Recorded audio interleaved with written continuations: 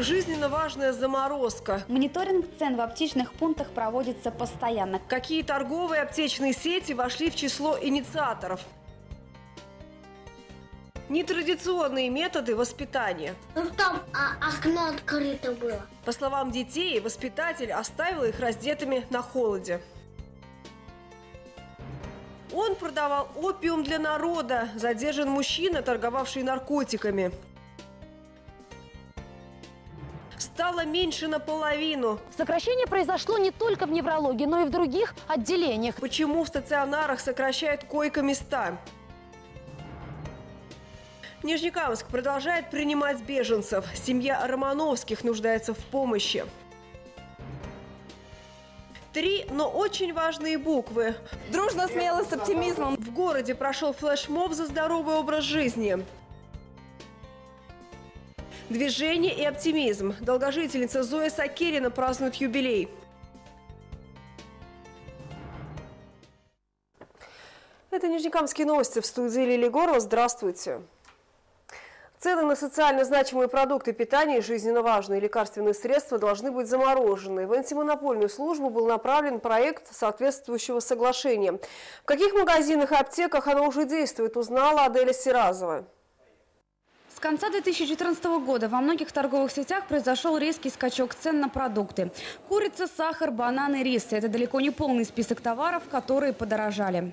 Особенно последний раз. Прямо, знаете, где-то на сто процентов, честное слово. Да хлеб даже и то дорого. Продукты. Их же везут откуда-то. Это все денег стоит. Лишь бы еще больше не подорожало. Сейчас зарплата не поднимается, а за продукты поднимают. Кому это? Многие люди ведь дома сидят с маленькими детьми, семьи и кормить-то. В этой таблице можно наглядно увидеть разницу цен. По данным на 1 марта, стоимость моркови в супермаркете «Пятерочка» 49 рублей 95 копеек, а в магазине «Камила» почти на 17 рублей дороже. Если же взять свеклу, то здесь супермаркет «Пятерочка» продает ее дороже на 11 рублей, нежели «Эссен Экспресс». Крупные ритейлеры разработали проект по заморозке цен. Четкого списка продуктов, стоимость которых будет зафиксирована, нет. Корзина будет формироваться самостоятельно торговыми сетями, при этом ориентироваться магазины будут на список социально значимых самых продуктов. В Нижнекамске первый торговый центр, который заморозил цены, это гипермаркет «Лента». С марта месяца текущего года к дополнению к существующей социальной программе компания фиксирует цены на 20 ассортиментных позиций, пользующихся популярным спросом у покупателей. Цены зафиксированы будут сроком на 2 месяца, и в случае снижения закупочных цен лента, естественно, обеспечивает снижение цен и в торговом зале. Пока неизвестно, какие еще гипермаркеты поддержат политику заморозки цен. Если часть продуктовых магазинов фиксирование цен на социально значимые товары может не поддерживать, то вот ситуация с аптеками иная. Минздрав обязует все фармацевтические пункты подчиняться заморозке цен на жизненно важные лекарственные средства. Список препаратов обновился 1 марта этого года. Теперь в него входит более 600 лекарственных средств, которые защищены от колебания курсов валют. Мониторинг цен в аптечных пунктах проводится постоянно. К примеру, один из препаратов, который входит в список жизненно важных лекарственных средств, это ножпа. Его реестровая цена 40 рублей 16 копеек за пачку из 6 таблеток. Но это не значит, что товар должен опускаться именно по этой стоимости. Существуют еще НДС, оптовые розничные надбавки, которые регламентированы. Отсюда отпускная цена 64 рубля 20 копеек. Если же аптека завышает стоимость, ее владелец может лишиться лицензии. Список препаратов с фиксированной стоимостью опубликован на сайте правительства Российской Федерации. Подробную информацию о надбавках вы можете узнать в любой аптеке. Она должна быть размещена на стендах и находиться в общем доступе. А цены производителей можно посмотреть в Государственном реестре предельных отпускных цен на жизненно важные лекарственные средства. Аделя Сиразова, Зульфия Галимова, Евгений Лызаев и Максим Липин. Новости НТР. В одном из детских садов Нижнекамска произошел неприятный инцидент. По словам детей, в качестве наказания воспитатель открыла Насте окно и оставил их одних в холодной группе. Александр Комаров пообщался с ребятами и их родителями. Альфия, Алина и Айгуль идут в детский сад. Они хотят обсудить с сотрудниками дошкольного учреждения случай, который произошел 20 февраля. В тот день, по словам четырех детей, во время тихого часа воспитательница вывела их в другую комнату, где было открыто окно, а сама ушла. И они там лежали, замерзли. А в это время Надежда Викторовна ушла из группы, где-то гуляла, по своим делам ходила. Вот именно это окно и было открыто, и именно здесь, говорят дети, им пришлось лежать и мерзнуть. Вот что рассказывает одна из наказанных.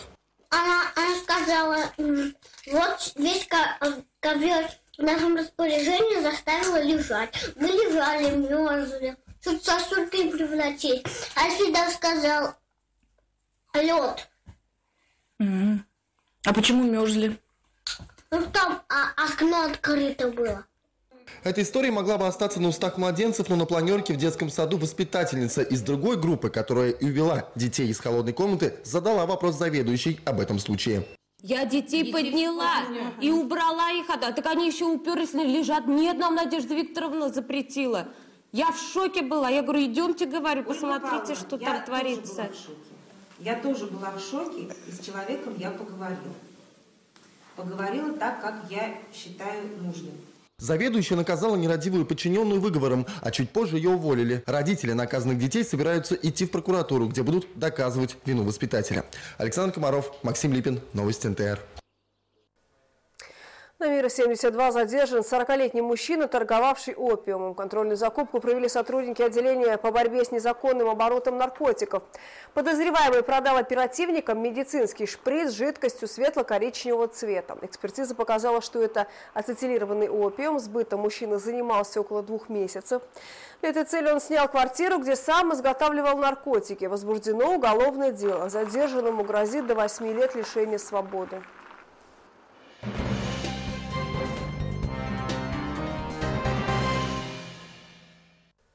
В отделении неврологии сократилось количество койко-мест круглосуточного пребывания. Если раньше их было 40, то теперь 29.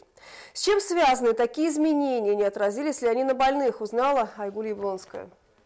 Александра Федина в свои 82 в первый раз оказалась в отделении неврологии. В последнее время у нее часто болела голова. Сегодня пенсионерка чувствует себя хорошо. Уже завтра она готовится к выписке.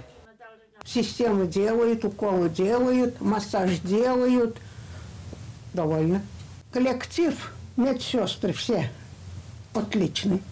Вот вчера я взглянула, посмотрела и все, приглядываюсь. Очень хорошие. Таких, как Александра Федина, здесь полное отделение. У кого что болит. Палаты больницы никогда не пустуют, тем более в последнее время. Дело в том, что койки круглосуточного пребывания в неврологическом отделении сократили с 40 до 29. На нашу койку поступают больные, которые нуждаются либо в первичном серьезном обследовании, установке диагноза неврологического, истинного неврологического, либо больные неходячие. Те 29 коек, они, конечно, недостаточны. И наше руководство это понимает и пыталось как бы отстоять эти койки. Выход из положения нашли. Добавили койки в дневном стационаре и в отделении реабилитации. Сегодня на лечении в отделении неврологии находится 43 нижнекамца. 30 человек круглосуточно, 13 получают медицинскую помощь днем. В управлении здравоохранения нам пояснили, что эта мера была вынужденной. Государство, Минздрав России переводит койки э, круглосуточного стационара уже в дневной стационар, поликлинических эти отделения или отделения реабилитации, где пациенты получают ту же самую помощь в том же самом объеме. Единственное, только они идут после этого лечения домой. То есть это им комфортно и не отрываются они от семьи, находятся в привычных для себя условиях. Таким образом, сейчас вместо шести коек в дневном отделении неврологии стало 12, а в общем по городу их 60. Сокращение произошло не только в неврологии, но и в других отделениях, таких как хирургия и гинекология. В общей сложности по городу койки круглосуточного пребывания сократили с полутора тысяч до 760. Айгуль Блонская, Евгений Лозаев, Новости НТР. Без жилья, работы и денег. Эти проблемы знакомы людям, которые вынуждены бежать со своей родины. В нашу редакцию в очередной раз обратилась семья из Украины. В Нижнекамск она решила переехать, когда в центре города разорвался снаряд. Сегодня пули и бомбежки им уже не страшны. Пугают бытовые проблемы. Мы очень часто рассказываем вам истории людей, которым нужна помощь. И почти всегда эту помощь вы, наши телезрители, им оказываете. Сегодня речь пойдет о семье Романовских. В наш город они приехали из города Авдеевка Донецкой области. Как они говорят, жить там стало просто невозможно. Ну, ведутся боевые действия, ведутся, ну, это, наверное, это война. Жить в родном городе было страшно, но они все же надеялись до последнего, что военные действия прекратятся. Когда бомбить начали центр города, поняли, надеяться уже не на что. 10-15 вечера мы с супругой легли спать, одетые вот в чем были. И у нас буквально возле соседнего подъезда приземлился град. Градом. градом обстреляли именно центр города. В Нижнекамск они ехали двое суток на машине вместе с двумя маленькими детьми. Остановились у брата Динары. Сегодня занимаются оформлением документов, поиском работы и жилья. Ну, самое первое – это, наверное, жилье. То есть жилье, потому что наша семья четыре человека и плюс вот у супруги брат там тоже четыре человека их. И в двухкомнатной квартире, конечно, ну, вы меня понимаете. Денег, чтобы снять квартиру, у семьи пока нет. Возможно, найдутся люди, которые на первое время помогут решить эту проблему. Квартира там, ну, рассчитались, работает, мебель, бытовая техника. Ну, то есть все, естественно, все оставили, потому что как бы то, то, что смогли, то взяли. А взяли только самое необходимое. Сегодня Романовский нуждается в любой помощи. Если вы хотите помочь семье с двумя маленькими детьми, звоните в нашу редакцию по телефону 077. Анастасия Шакирова, Ренат Харасов, Новости НТР.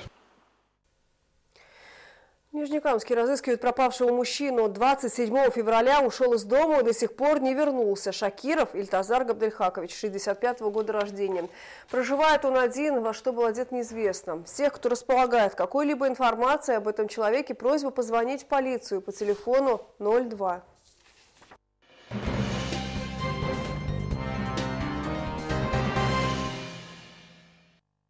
Студенты агропромышленного колледжа призвали нижнекамцев к здоровому образу жизни. Сегодня учащиеся СУЗа прямо перед входом в учебное заведение выстроились таким образом, чтобы получились три буквы ЗОЖ. Дружно, смело, с оптимизмом, за здоровый образ жизни. Под таким девизом в Нижнекамске прошел флешмоб, участниками которого стали студенты агропромышленного колледжа. Студент второго курса агропромышленного колледжа победил вредную привычку. Теперь он не курит. Сейчас вместе со своими товарищами пропагандирует здоровый образ жизни. Чтобы бросили курить, это не так трудно.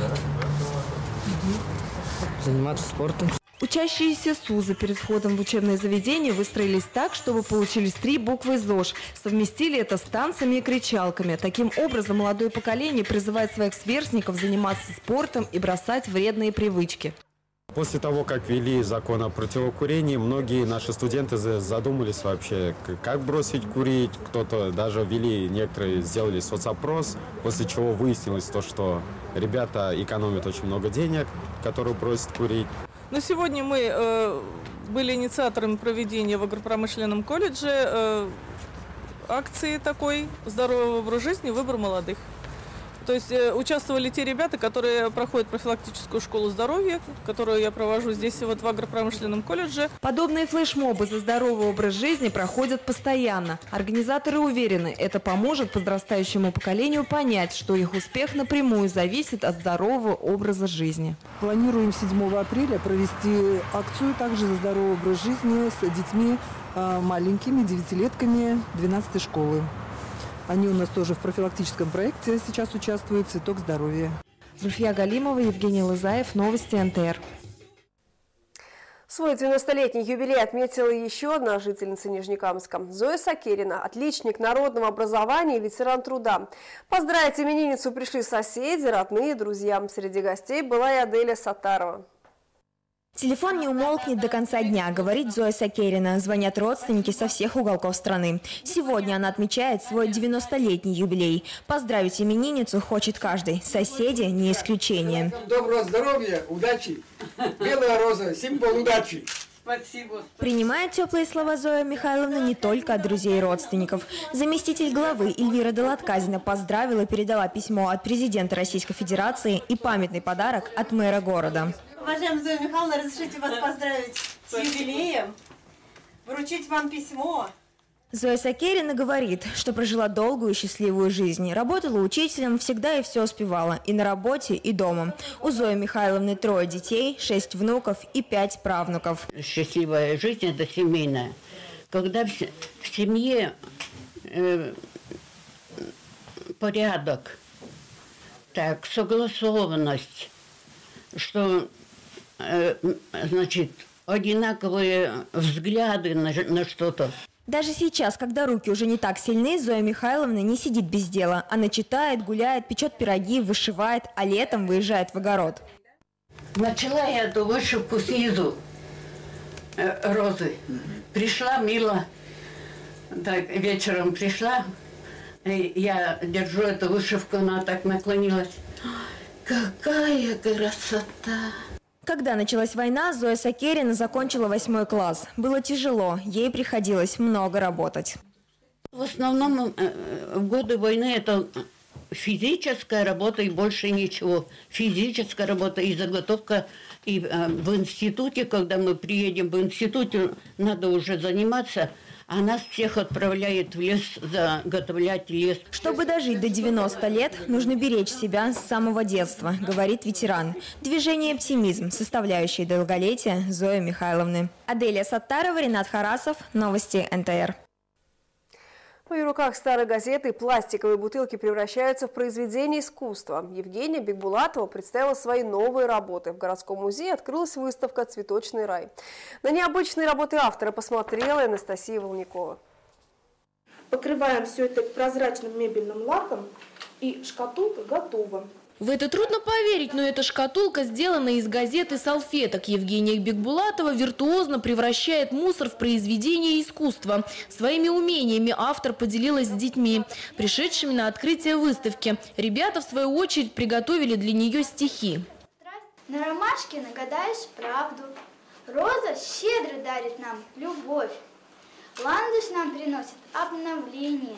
Стихи про цветы ребята выучили неспроста. Евгения Бекбулатова создает и цветочные композиции. Эта выставка не стала исключением. Необычный орнамент можно встретить на каждой работе автора, будь то чайный сервиз, шкатулка, корзина или картина.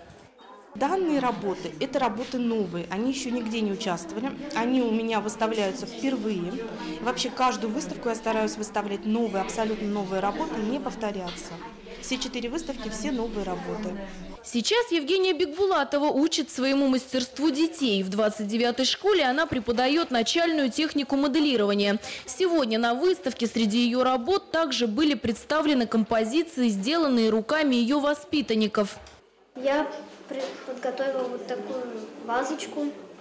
Тут она оплетена бисером сама. И здесь есть разные цветы. Ознакомиться с работами Евгении Бекбулатовой может каждый желающий. Выставка продлится до конца марта. Анастасия Волникова, Максим Липин. Новости НТР. Далее новости спорта и прогноз погоды. Я же с вами прощаюсь. Спасибо, что вы с нами. До свидания.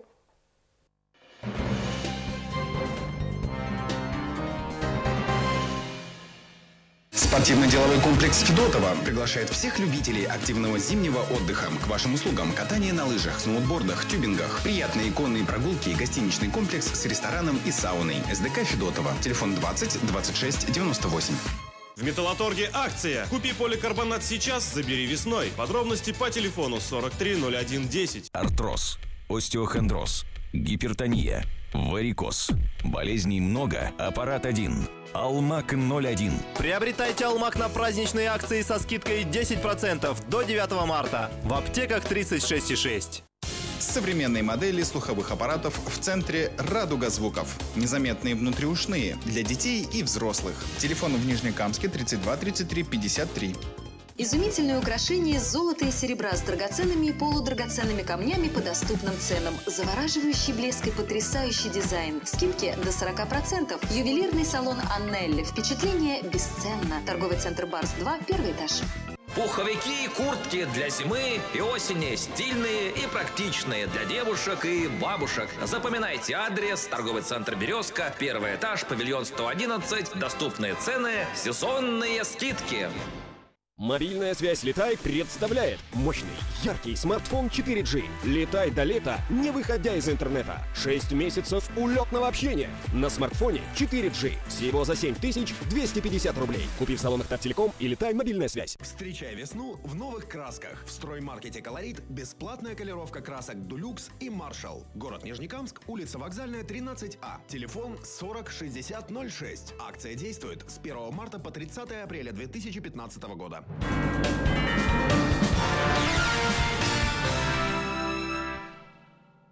На телеканале НТР новости спорта в студии Вадим Струминский. Здравствуйте. В эти дни в городе Пересвет Московской области проходит чемпионат России по биатлону среди людей с поражением опорно-двигательного аппарата. Нижнекамск на этих состязаниях представлен бронзовым призером Паралимпийских игр в Сочи, призером этапов Кубка мира Мартой Зайнулиной во второй день чемпионата прославленная нижнекамская лыжница приняла участие в спринте. В гонке на 7,5 километров нашей спортсменки не было равных. Марта показала результат 25 минут 10 секунд и стала чемпионкой страны.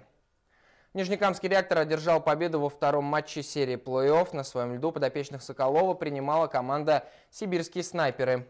Открыть счет на табло удалось нижнекамцу Денису Липустину. Под занавес первого периода хозяева сравняли счет. В начале второго отрезка игры реакторщики реализовали большинство. Гол на счету Ильдара Шиксаддарова. Хозяевам удалось догнать оппонентов, и на второй перерыв команды ушли при счете 2-2. За 10 минут до конца игры реактор, воспользовавшись большинством, вырвался вперед, а за 2 минуты до конца э, матча за две минуты до финальной сирены сибиряки сняли вратаря, и этим воспользовался Михаил Тихонов, который установил окончательный счет встречи 4-2 в пользу реактора. В плей-офф каждая игра может решить исход серии, поэтому нельзя так разбрасываться победами. Теперь едем домой. Конечно, в плей-офф не бывает легких матчей, да и сопернику уже терять нечего. Но мы обязаны доказать, что мы сильнее, тем более в родных стенах, перед своими болельщиками. В следующий раз команда сыграет уже в эту пятницу. Матч пройдет в Нижнекамске. Начало встречи в 6 вечера. Вход бесплатный. На заслуженный отдых а, следующий сезон для главного тренера нефтехимика Владимира Крикунова станет последним. Об этом он заявил в интервью интернет-порталу sportbox.ru. По словам прославленного специалиста, после завершения тренерской карьеры он не собирается уходить из хоккея и станет либо вице-президентом клуба, либо же будет работать с молодежной командой. К другим спортивным темам. В Казани прошли традиционные соревнования между судами Татарстана. В состязаниях приняло участие около 250 человек. В программе 4 личных зачета. Это судья-мужчина, судья-женщина, аппарат-мужчина и женщина. По итогам четырех личных зачетов баллы суммировались. Представители нашего городского суда заняли второе место в общекомандных соревнованиях. Также нижнекамцы приняли участие в эстафете, где стали третьими. Стабильно мы занимаем призовые места, что в эстафете, что в личных индивидуальных гонках. Поэтому нельзя говорить о том, что наши результаты ухудшились. Мы стабильно высокий, высокую планку держим и не опускаем ее. На минувшей неделе нижнекамские вольники приняли участие в первенстве Приволжского федерального округа, которое прошло в Оренбурге. На этот раз у наших спортсменов, что называется, не пошло. Три нижнекамских борца выбыли с соревнований еще в первый день. Единственный, кто попал на пьедестал, Максим Шевель. Он стал третьим в весовой категории 76 килограмм. Таким образом, ни один представитель Татарстана не пробился на первенство России.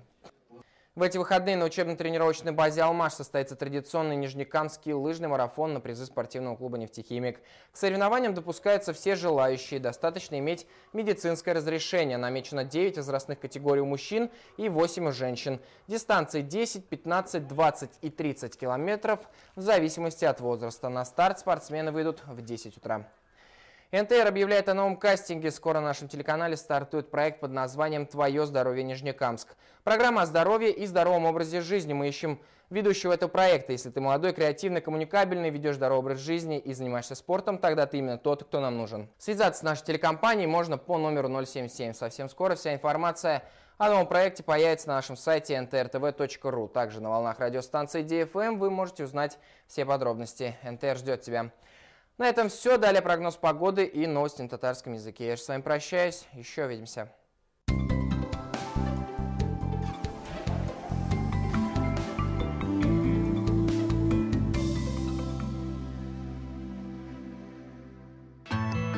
Погода в Нижнекамске на 5 марта.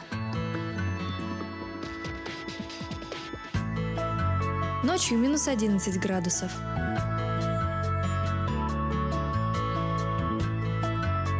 Утром минус 10 градусов. Ясно. Днем потеплеет до минус 3 градусов.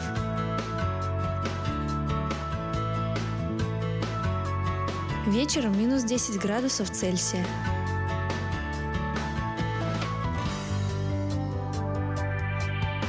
Атмосферное давление 757 миллиметров ртутного столба. Ветер юго-восточный до 3 метров в секунду. Влажность воздуха 84%.